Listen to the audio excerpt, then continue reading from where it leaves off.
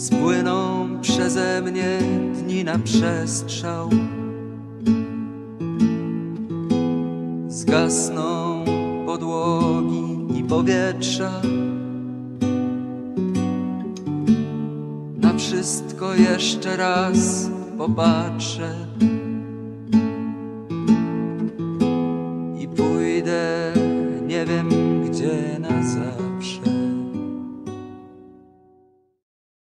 No i wam wszystkim ludziska, witam was bardzo serdecznie z tej strony Jam ci to jest czyli Grzechut, serdecznie mam zaszczyt zaprezentować kolejny, miejmy nadzieję, całkiem mniamuśny, soczysty i pyszny, molto bene materiał serii Zagrajmy w Battlefield 5, czyli w pole bitwy odsłona piąta. Z tego co pamiętacie, na poprzednim materiale strasznie dałem dupy, żeby nie powiedzieć gorzej i dzisiaj obiecałem wam, że będę takim uber soldatenem, że tak się mocno skupię na gameplayu, że będę super, hiper, duper, uber dobry i nie padnę ani razu podczas owego klipu filmowego. Ciekaw jestem, czy uda mi się rzeczywiście dokonać owego procederu. Trzymajcie za mnie kciuki. no ale dobrze, pod ten gameplay pozwólcie, że dziabnę soczystego grzdędzgla herbaty. No i co? Rym, cym, cym, parararara, leciem z tym śledziem. Biegnie na będzien. Pokonam was, respawnujący się Niemcy, samoreplikanci, wojna klonów, w dupę jego mać. Wiem jak budowano Imperium Zła, wiem jak Lord Vader zbudował Gwiazdę Śmierci, to dzięki samoreplikującym się Niemcom. Już wiemy, kim byli kloni z Gwiezdnych Wojen, to byli samoreplikujący się Niemcy. Wszystkie tajemnice świata odkryłem, nic nie pozostało mi niezbadane. Dobra. E, to co, na dobry start myślę, że rozpierdupce w perzynę to działo. Myślę, że to nie jest głupie. O kurde! Granaty machnele, chłopaki. Nie wiem jak jest granat po francusku, ale pewnie też podobnie, znając życie. Chłopaki, uciekać, bo ja będę pierdupcył. Pierdut! Pieruna, panie, poleciało. no dobra. Stanowisko przeciwlotnicze. Klasyczna niemiecka 88. Poszła się pierdaczyć. Dobra. Strzał w kochones. Z kochones dostał tylko majonez. Dobrze. Rzecz jasna o ciekawostkach również postaram się ględzić na tym materiale. Nie myślę, że będzie inaczej, no ale jednak chciałem się postarać, żeby tutaj nie przylamić. A myślałem, że dalej będzie biegł. Źle myślałem. O kurde levele. Dobrze chłopaki, dobrze, dobrze robicie. Mocni jesteście. Niczym jajca sarny. Co ja gadam? Nieważne. Załóżmy, że tego nie było. Pierdut! Dobra. Nie jest źle. Czyli co, dwa działa rozpietraszone, to lecimy dalej, nie? Teraz kolejne.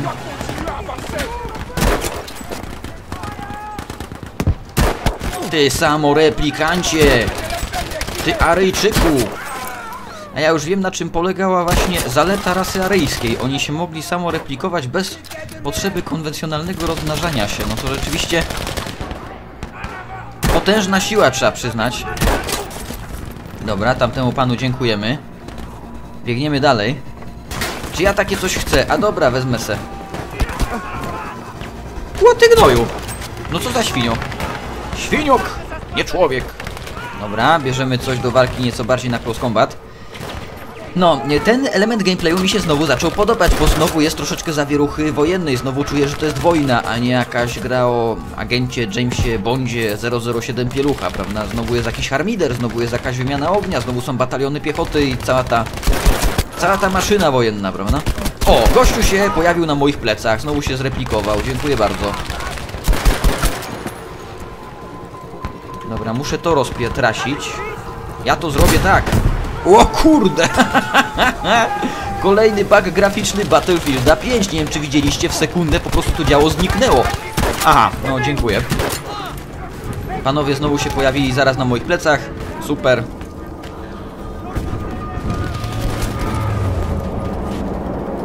U. Szamoląty. Szamoląty. Fajnie, że zrzucają na nas bomby, doceniam. Wracaj na pole walki, przecież jestem na polu walki, goddammit. Nie wiem, czy widzieliście, tam to działo nie wybuchło, ono nie zostało zniszczone, tylko po prostu zniknęło w sekundę. No, troszeczkę tych bugów ostatnio w grze się pojawiło.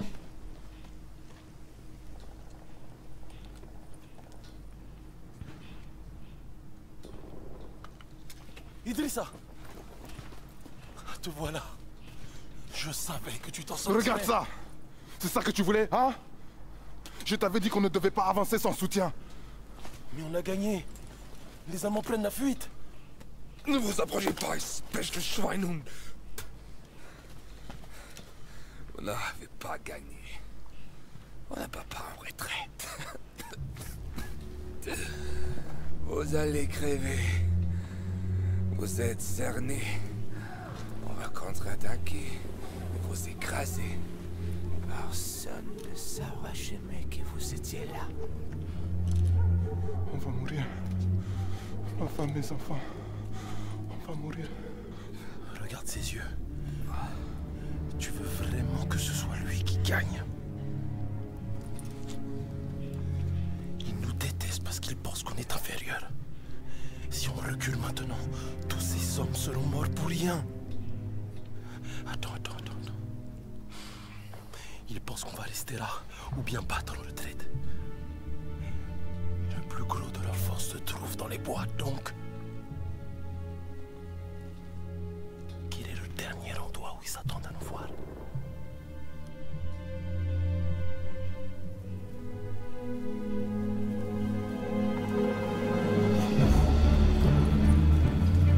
Castle Wolfenstein. La base allemande du château. Mais tu es fou, quoi Les Français n'arrivent pas à battre ces fâches, Miag, ni même à s'approcher de leur QG. Et c'est toi qui vas prendre le château tout seul?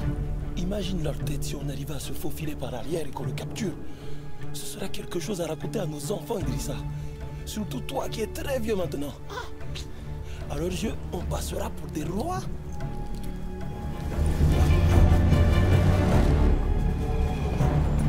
Tiens, petit frère.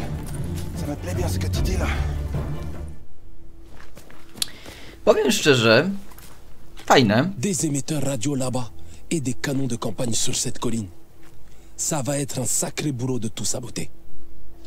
Témé, prends ce lance-fusée. Tire avec pour nous dire d'attaquer. Okej. No dobra. Ne tire que quand on doit passer à l'attaque. N'oublie pas, nos vies dépendent de ton jugement.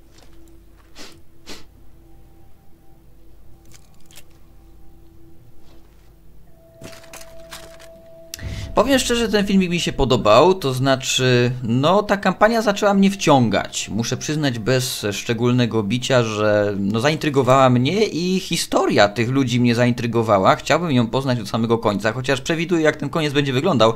E, tak czy inaczej, no muszę jednak przy... O! Czy dałoby się wejść do czołgu? Panzer czwóreczka, jak ja bym chciał... Nie, no będę się starał to właśnie zrobić, czyli muszę się zakraść i spróbować do niego wejść. Może się uda. Warto spróbować. Muszę wykryć najwięcej Niemców, jak to tylko możliwe. Żeby nikt mnie potem nie... A to kto? To jest Niemiec? Czy kto to jest? Tak, Niemiec, jakieś zapasy wynosi.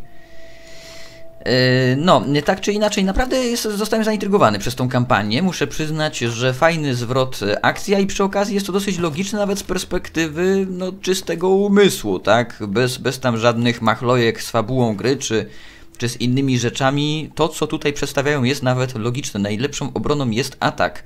Niemcy nie będą się nas spodziewali na swoich pozycjach, więc nie będą się tak tam zabezpieczali. Dlatego też no, może to być jedyna szansa na wygraną i zwycięstwo w postaci przeżycia.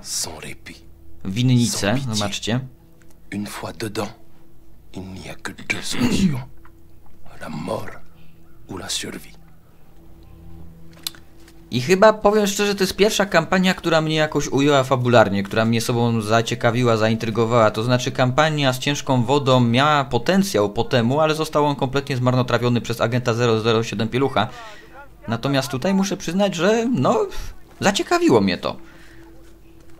Tak czy inaczej, ja osobiście uważam, że ogólnie Battlefieldy. Są ciekawie robione z perspektywy widowiskowości, dlatego że jako iż ogólnie te wszystkie kampanie, no każda kampania jest inna, dzieje się w innych miejscach Europy, no to to wszystko jest bardzo zróżnicowane i widowiskowe. Raz walczymy w Afryce, raz walczymy na przykład w Europie Zachodniej, raz walczymy na froncie wschodnim, chociaż frontu wschodniego chyba w ogóle tutaj nie będzie. Tak, więc pominięto kompletnie walki w Azji w tej grze i pominięto kompletnie walki we wschodniej Europie. Tak czy inaczej, do czego zmierzam? Ja osobiście bardziej bym wolał zobaczyć grę taką jak Brothers in Arms, chyba tak się to nazywało, czyli bardziej posadowioną w jednych konkretnych realiach od początku do końca, prezentującą tylko i wyłącznie życie, taką historię jednej grupy militarnej od początku do końca, żeby ta gra po prostu nas naprawdę zaciekawiła życiem tych ludzi y, i żeby w ten sposób budować e, ciekawą fabułę, bo tutaj Oczywiście, no Battlefield może mieć lepszą bądź też gorszą fabułę, to wszystko może nas bardziej lub też mniej intrygować, ale no nigdy nas to tak mocno nie wciągnie jak gra, w przypadku której wszystkie kampanie to była jedna wielka kampania, załóżmy, nie wiem, we Francji posadowiona czy gdziekolwiek indziej, e, traktująca tylko o jednej grupce ludzi, prawda? O jednym, załóżmy, batalionie piechoty i historia tego batalionu od początku do końca wojny. Myślę, że wtedy naprawdę e, dałoby się stworzyć prawdziwego wyciskacza łez, bo żywot tych poszczególnych jednostek nie byłby nam 100% obojętny. Postaram się ich zaatakować od tej strony, tylko że ten gościu mi teraz psuje plany, jakby się on się cofnął. O, ich tu jest kilku. Hmm, no to gorzej. Tu jest jeszcze? Nie, to jest stanowisko działa, ale chyba nikogo na nim nie ma.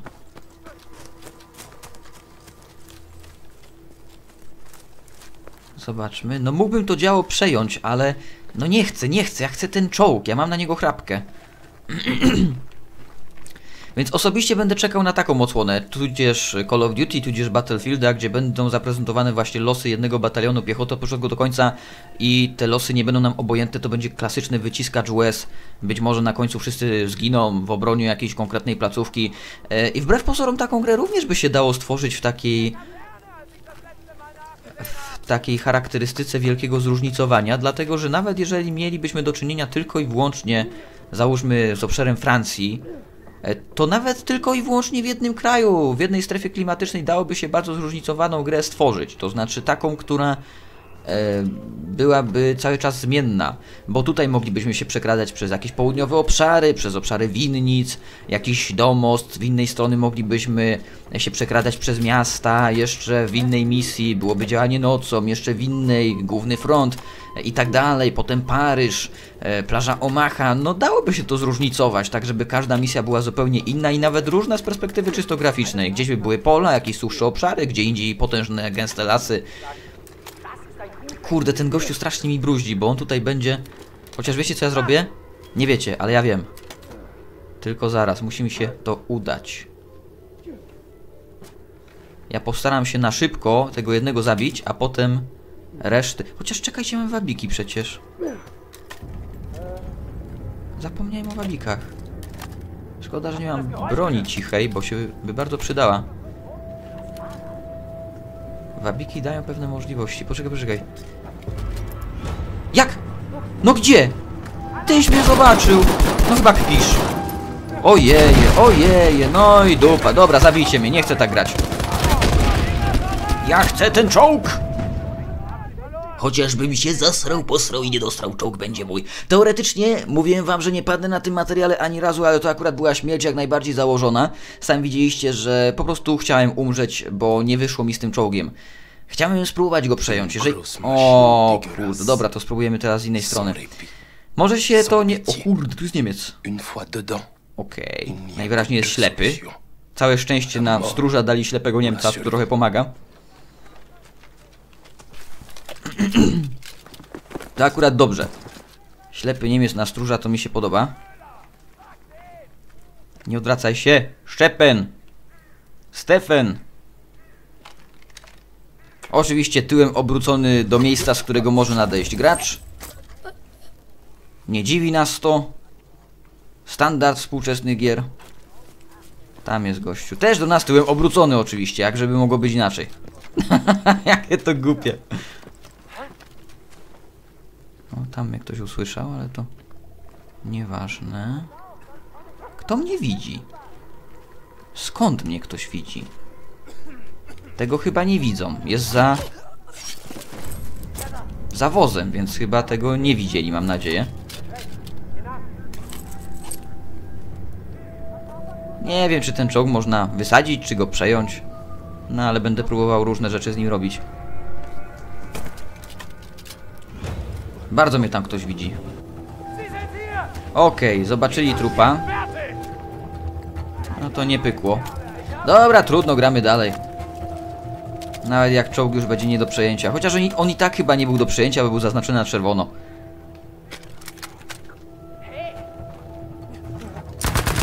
Hej! Jak mi ładnie powiedział. Hej! Czołgiem mnie? Mnie, biednego Grzesia. No wiecie co? To są jednak świnie. Bydloki niemieckie.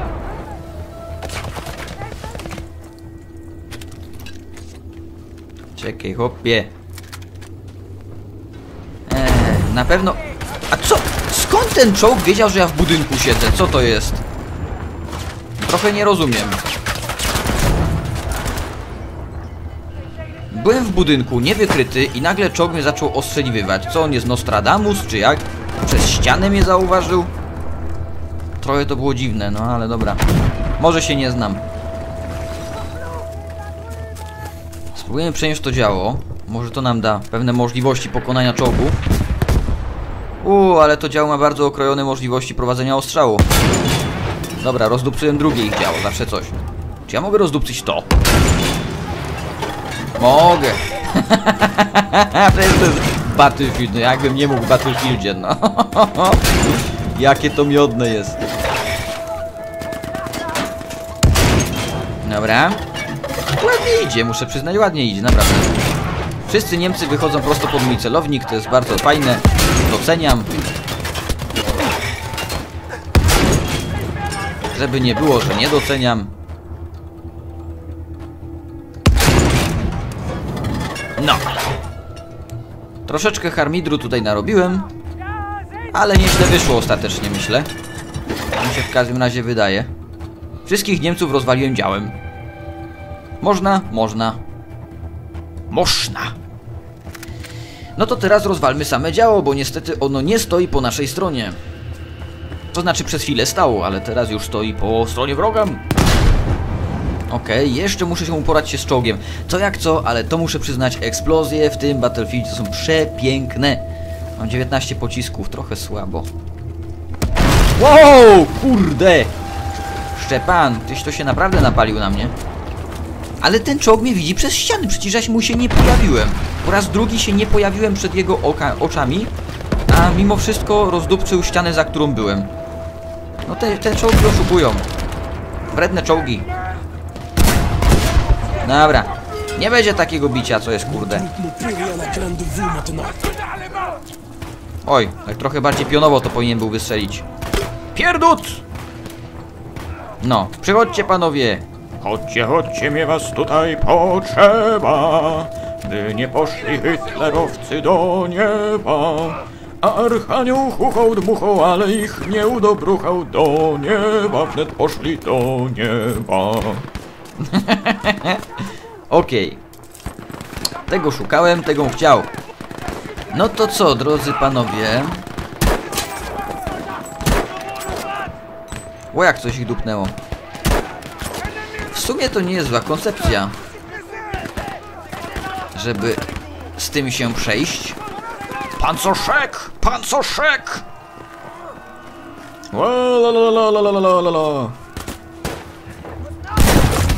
Aha.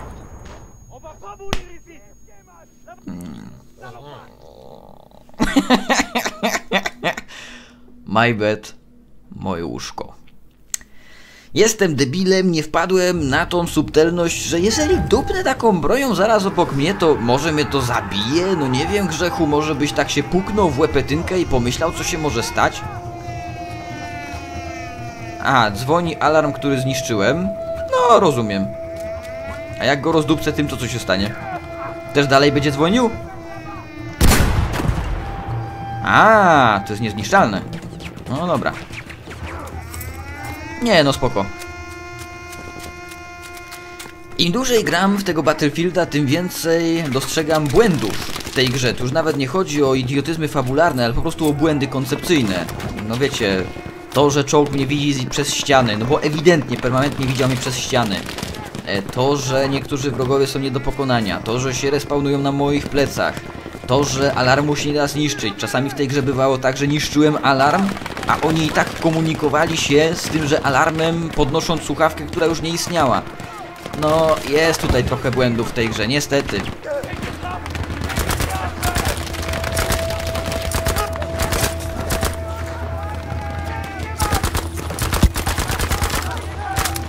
Oj, oj, oj.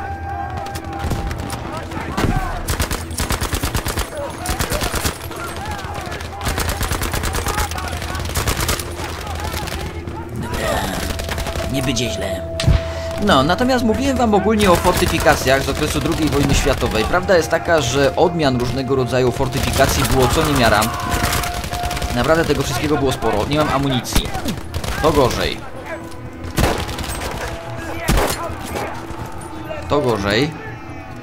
E, Natomiast mówiąc o takich, no bo jeżeli mielibyśmy mówić o samych zębach smoka, no zęby smoka oczywiście występowały dosyć zmasowanej skali, nawet w miejscach, gdzie nie można było ich wybudować, no bo bywały takie miejsca, że na przykład e, na plaży mijałoby się to z celem, z uwagi na to, że i tak no by to piasek zaczął obmywać, no i te fundamenty zaczęłyby się być może kruszyć na dłuższą metę, no to tam, gdzie nie można było e, usytuować zębów smoka, budowano tak zwane stalowe jeże, e, które doskonale znamy z realiów choćby plaży Omaha. No pamiętacie ten wygląd, ten kształt, prawda? Takie stalowe krzyżaki na plaży, które również miały no, spowodować zahamowanie pochodu armii wroga, prawda? Przyhamowanie na jakiś czas tychże wojsk przeciwnika i tak też się właśnie stało.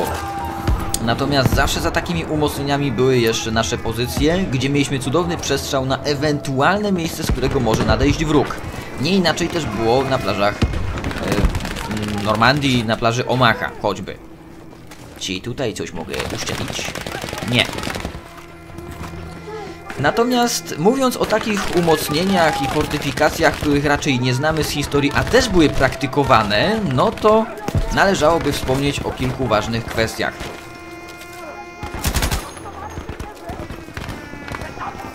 Hopie, hono tu. Gdzieś ty polas? Dobra.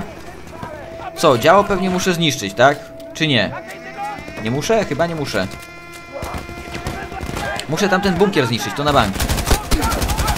Wow, nie, nie, nie, dużo Niemców. Czekaj, przeładuję sobie. E, Takie fortyfikacje, których nie znaliśmy z okresu II wojny światowej, a również były stosowane, to na przykład e, umocnienia elektryczne. No nie każdy człowiek zdawał sobie sprawę z ich istnienia, ale było coś takiego. Były tak zwane elektryczne zasieki, które w ogromnym uproszczeniu nie mogę podnieść ich broni. Kolejny błąd gry. Dziękuję bardzo.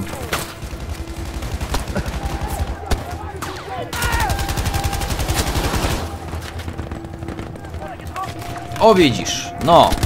I bardzo dobrze. Tego chciał. Uuu, szczytba, też fajnie, zaraz wezmę.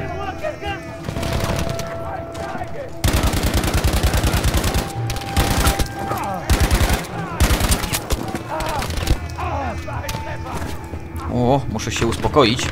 Muszę wyłączyć tą syrenę, to na pewno. Ona, myślę, ściąga tutaj przeciwników. Szczelbę też sobie wezmę. To jest coś fajnego.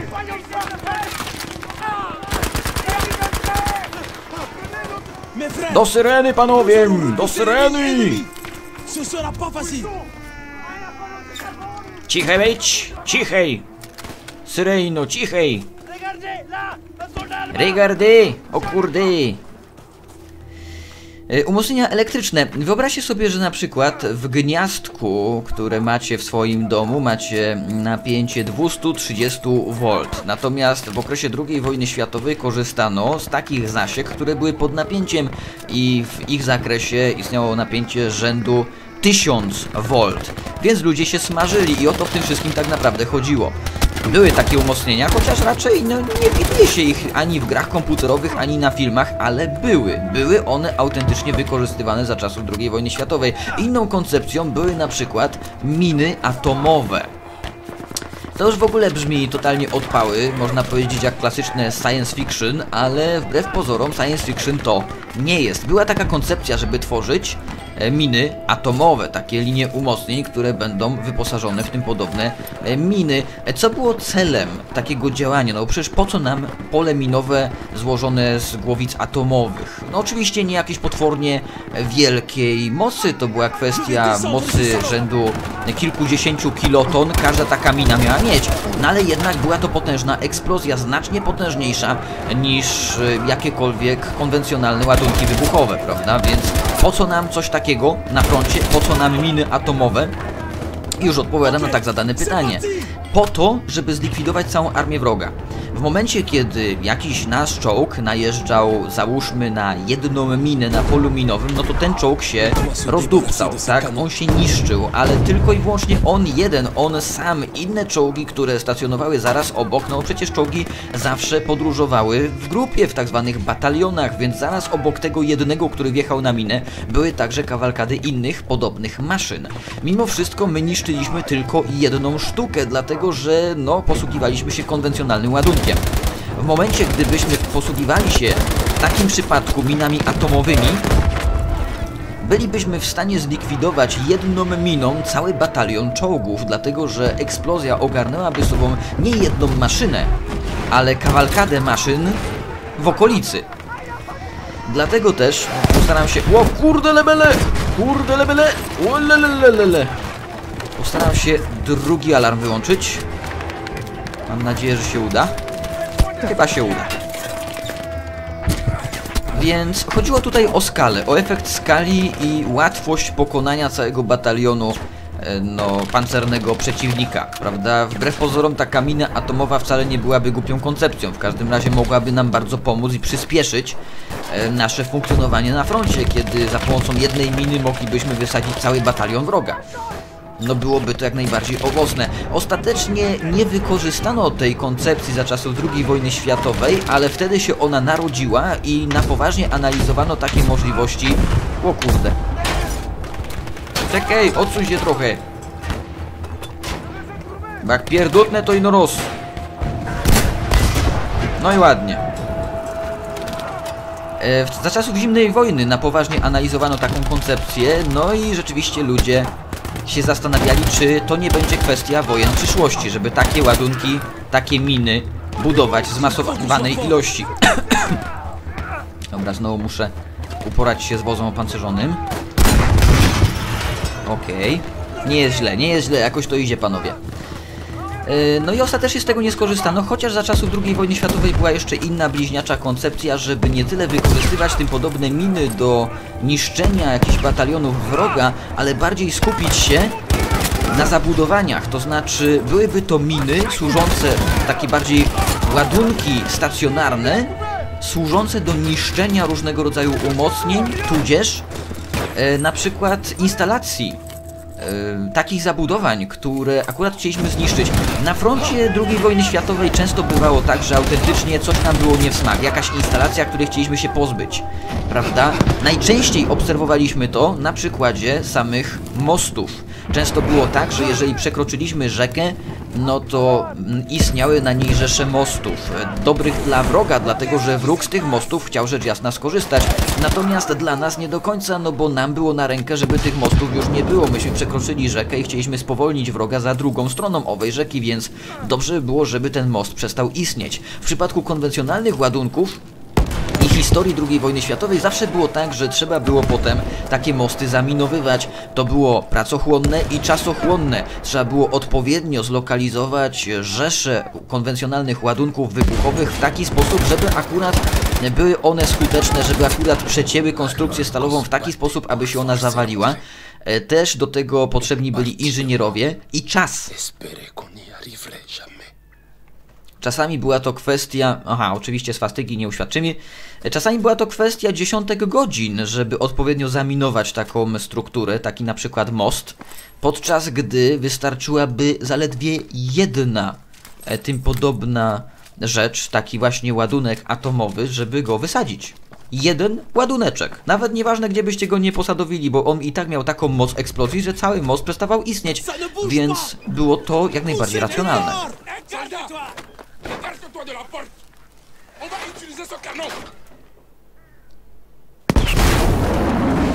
Nie bali się panowie odłamków, widzę. No, gdyby to był prawdziwy pocisk, mogliby tutaj umrzeć, no ale dobra.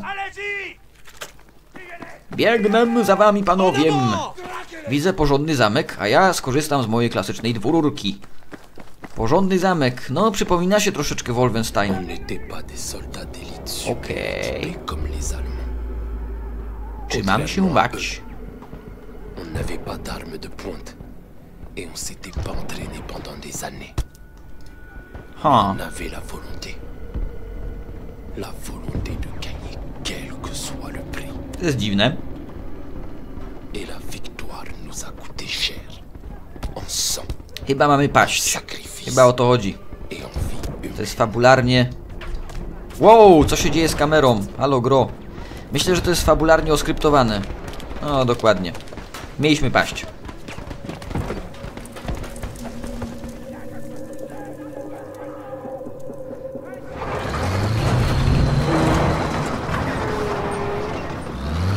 Jest i słynne tygrysiątko.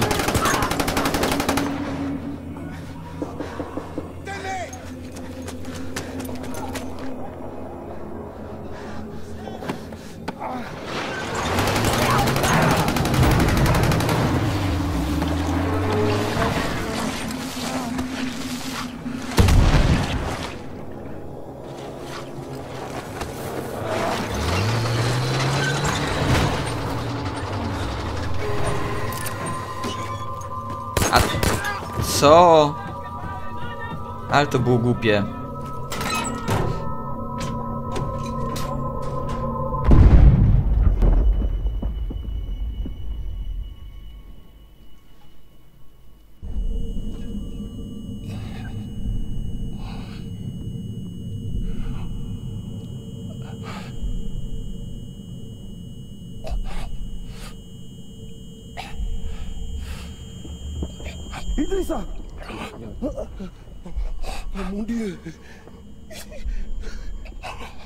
İdris abi.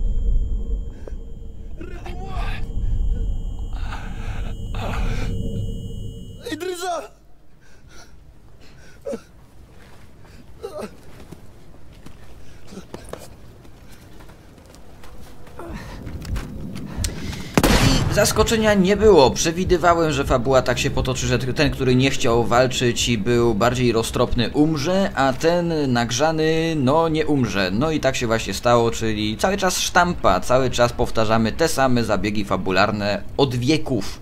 No wiecie, skoro ja jestem w stanie przewidzieć zakończenie na samym początku kampanii, to naprawdę znaczy, że ta fabuła jest po prostu słaba, bo no nie powinno tak być, moim subiektywnym zdaniem. Inna kwestia jest taka, że zmieniono mi bronię, tego nie miałem. No ale dobra. Powalczymy w takim razie teraz właśnie tym. E, Inna kwestia jest taka, że ludziska, weźcie pod uwagę ten solidny fakt, iż ta scena z tygrysem była denna. Ona była tak beznadziejnie głupia, że wręcz no troszeczkę brakuje mi słów na należyte obelżywe e, określenie tego, co tutaj miało miejsce. Pomijając ten fakt, że strzelec CKM-ista od przodu tego tygrysa już dawno tych murzynów powinien zestrzelić, ale nawet jeżeli mu zabrakło amunicji, co to w ogóle było, że dowódca otworzył właz i przez niego zaczął wyłazić? Po co? I co to miało na celu? Przecież tak się nie robi. To jest podstawowe, to są podstawowe założenia prowadzenia wojen. No, na litość boską, jeżeli jesteście w czołgu, jeżeli wokół was są wrogowie, no to ostatnie co robicie, otwieracie włas. No to było głupie. Nikt by na froncie II wojny światowej takiego czegoś nie zrobił, więc no, scenka totalnie z dupy. Że właśnie ich obroną był ten pancerz, więc po co mieliby go opuszczać?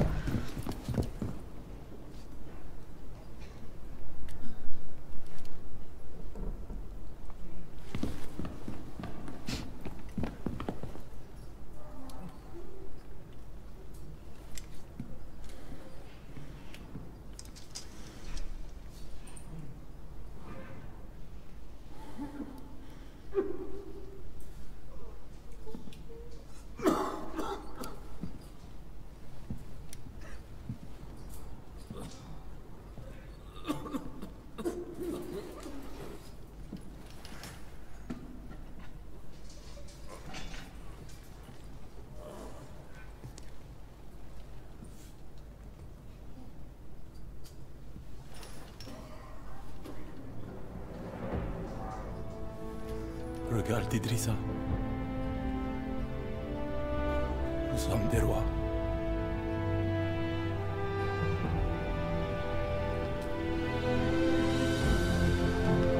Ja dobrze widzę, już wojsko francuskie przyszło?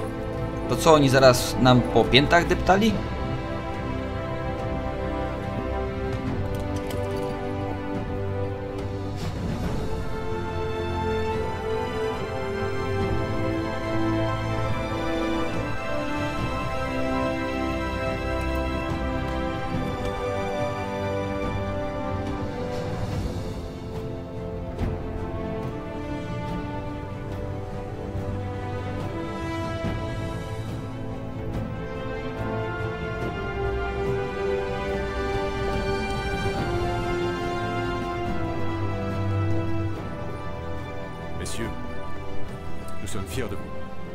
Que vous avez accompli.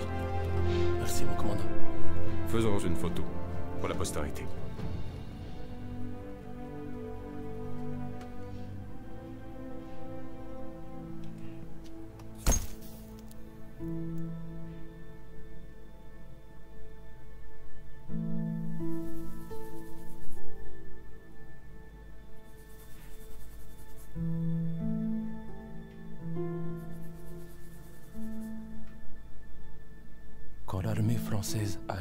Paris, ils ont retiré tous les soldats noirs. Ils les ont remplacés par des visages plus familiers. Mais moi, je sais ce qu'on a fait. Et à quel prix. Et j'en suis fier.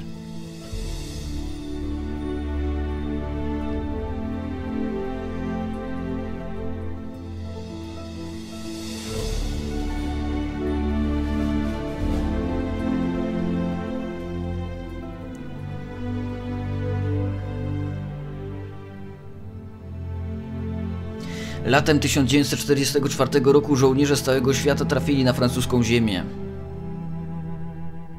Wolna francuska armia, francuscy strzelcy kolonialni oraz zagraniczni sojusznicy. Wielu stanęło do walki o kraj, którego nigdy nawet nie widzieli. Około 25 tysięcy tyralierów zginęło walcząc o kraj, którego większość nie widziała na oczy.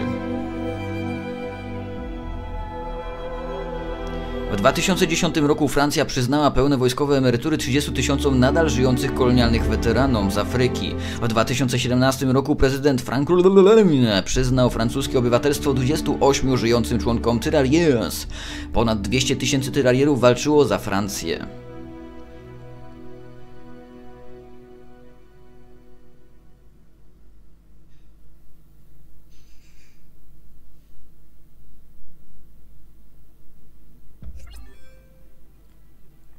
Zdobyto osiągnięcie. Dobrze, czyli kolejna kampania została pozostawiona za naszymi plecami. Powiem tak, po raz kolejny dostrzegłem to samo co w kampanii e, w Norwegii, to znaczy potencjał był, moim zdaniem nieco zmarnotrawiony z uwagi na to, że znowu było zbyt wiele tożsamych akcji. Wiecie, to jest taki no pastisz, takie po prostu naśladownictwo w każdej kampanii jest to samo. Idziesz sam, przejmij ten, ten, ten punkt. Mało jest tej zawieruchy wojennej, o czym cały czas mówię, cały czas to powtarzam. Tutaj również jej było zbyt mało. Teoretycznie kampania już nie była tak skrajnie skradankowa, ale i tak tego było mało. Więc to mi się nie podobało. Y, Druga kwestia jest taka, że bardzo przewidywalna sztampowa fabuła, która jest duplikowana we wszystkich tworach tego typu właśnie wojennych, że ten stary wyga umiera, żeby młodzian niedoświadczony mógł przeżyć, przetrwać i opowiedzieć jego historię, prawda? Więc znowu tutaj ta sama sztampa, nic mnie nie, nie zaskoczyło w tej kampanii. Inna kwestia jest również taka, że ja rozumiem rewizjonizm historyczny, ja rozumiem, że no, chcą w dzisiejszym świecie pokazywać te rzeczy, które troszeczkę były nie w porządku z perspektywy czysto historycznej, które zamiatało się pod dywan, pokazywać bohaterstwo jednostek militarnych, które do tej pory były marginalizowane i tak dalej. Nie mam nic przeciwko, niech tak robią, tyle tylko, że Zbyt nachalnie to robią, z uwagi na to, że to samo było w Battlefieldzie 1, gdzie skupiono się na Hellfighterach, to samo było tutaj. Opowiedziano tą samą historię dwa razy i to w odsłonach, które były zaraz po sobie, prawda? Więc ciężko powiedzieć, żeby to nas jakkolwiek poruszało, tudzież ewentualnie zaskakiwało, skoro odsłonę wcześniej mieliśmy dokładnie tą samą historię, tych samych czarnoskórych, którzy zostali ściągnięci na front wielkiej wojny, której to wielkiej wojny do tej pory jeszcze nawet nie doświadczyli, krajów, których do tej pory nie widzieli, e, gdzie tak naprawdę byli bardzo marginalizowani, chociaż walczyli jak lwy, to potem ich zamieciono pod dywan i w ogóle ich wyrzucono z kraju, prawda? Więc no, troszeczkę słabo, że w poprzedniej części było to samo, tutaj znowu widzimy to samo i znowu rzecz jasna pokazujemy tą poprawność polityczną, że, że tamtych to trzeba e, wielbić. E, Myślę, że troszeczkę jest to zbyt nachalne, nawet gdyby w tej kampanii załóżmy pokazywali e, takie samo bestialstwo w stosunku do nas, do Polaków, którzy też byli dokładnie identycznie tak samo przez wojska Zachodu potraktowani, nawet jeszcze gorzej, dlatego że Polacy zostali przyjęci w Wielkiej Brytanii, walczyli za Wielką Brytanię, potem tak samo nas wymazano z ich kart historii, nie zaproszono nas na defiladę zwycięstwa, tylko że nami jeszcze potem zabrano nasze rezerwy złota w ramach rekompensaty za to, że myśmy bronili ich ziem że my pożyczyliśmy od nich militaria na obronę ich własnej ojczyzny, więc nas potraktowano jeszcze gorzej niż tych, niż tych murzynów, ale nawet w momencie, gdyby chciano tutaj zaprezentować losy Polaków, które są mi troszeczkę bliższe, też bym był przeciwny. Nie dlatego, że uważam, że to jest zła pożywka do tworzenia gier komputerowych i żeby to by się nie sprzedało, to by było mało ciekawe, ale z uwagi na to, że zbyt dużo tego, zbyt mało w dzisiejszych czasach jest klasycznych strzelanin frontowych, które nam pokazują normalnego żołnierza, a zbyt dużo jest właśnie takiej poprawności politycznej, właśnie tych matek, y, y, dzieci, matek w ciąży, dzieci w ciąży, y, murzynów z dziećmi, które mają matki w ciąży, za dużo tego jest w każdej odsłonie growej, ja już widzę zasyp tych samych tendencji, więc ja bym chciał taką oldschoolową, zwykłą strzelankę jak na przykład Call of Duty 2, gdzie walczyli zwykli żołnierze, nie matki z kobietami w ciąży, z dziećmi, z murzynami, tylko po prostu normalni żołnierze, no. No bo wiecie, wiecie o co mi chodzi, że obserwując te wszystkie ostatnie strzelaniny, to ja zaczynam wychodzić z założenia, że jeżeli bym budował swoje przeświadczenie o II wojnie światowej na bazie tym podobnych gier, no to tam same dzieci i murzyni walczyli. Białych to było niewiele. Nie, żebym tutaj był jakimś rasistą, no ale jednak głównie tam walczyli biali, więc wypadałoby również głównie na nich kłaść nacisk, żeby pokazać tamte uwarunkowania. I tak jak mówię, pokazujcie też tego typu rzeczy. Ja sobie życzę tego, żeby również pokazywać takie historie tych batalionów murzyńskich, które zostały ściemiężone, Polaków, którzy zostali ściemiężeni przez Zachód, żeby wyciągać to wszystko na światło dzienne i poddawać te historie rewizjonizmowi historycznemu. To mi się bardzo podoba, ale jest tego ciupinkę za dużo w dzisiejszych czasach. Moim subiektywnym zdaniem przydałoby się taki moment oddechu, żeby wiecie, chociaż co druga odsłona to prezentowała, a nie każda kolejna w nieskończoność. To jest pierwsza kwestia. Druga kwestia z kolei jest taka, że no przed naszymi oczętami rozpościera swoje dumne lice ostatnia kampania i tutaj może zostanę bardzo mocno zszokowany, bo być może ta kampania zaprezentuje nam wreszcie coś innego niż wszystkie dotychczasowe we wszystkich tytułach growych osadzonych w realiach frontowych II wojny światowej. Dlaczego? Dlatego, że wszystko wskazuje na to, że wreszcie zagramy Niemcami. To jest niestandardowe. Do tej pory, pomimo tego faktu, że rozegrałem już niezliczoną ilość kampanii i tytułów growych posadowionych w takich realiach, nigdy w życiu jeszcze nie walczyłem Niemcami. I to by było super, żeby całą odsłonę takiej strzelaniny frontowej wykrować tylko i wyłącznie z perspektywy Niemców, prezentując na przykład życie jakiejś grupki żołnierzy, żeby to chwytało za serce, żeby rzeczywiście pokazać też drugą stronę medalu. Na litość boską tam też byli ludzie, tam też walczyli ludzie, więc pokażmy też ich. Zobaczymy, jak to zostanie zaprezentowane w ostatniej kampanii, chociaż oceniając to na bazie dotychczasowych, no to raczej się nie nastawiam na coś bardzo wyjątkowego. Ale zobaczymy, być może się zdziwię. Na razie z mojej strony to tyle. Widzimy się na kolejnych podobnych i innych materiałach w przyszłości na tymże kanale. Jeżeli Wam się podobało, nie zapomnijcie o łapkach. Jeżeli chcielibyście wesprzeć kanał, nie zapominajcie o patronajcie. Hej ludziska, cześć!